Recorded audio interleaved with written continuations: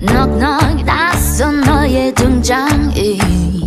평소답지 않은 눈빛이 뭔가 느낌이 좀 수상해. 지금은 12시 10분 전. 점점 분위기에 취하고 눈빛은 서로를 비추고 흐르는 침묵 같은 우리 사이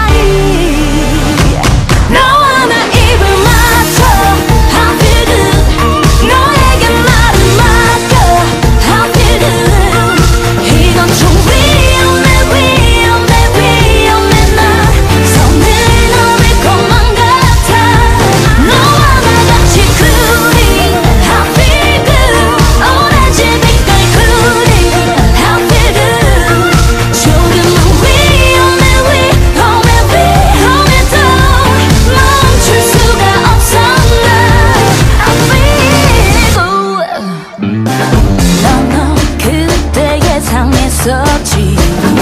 여잔 촉이 정말 빠르지.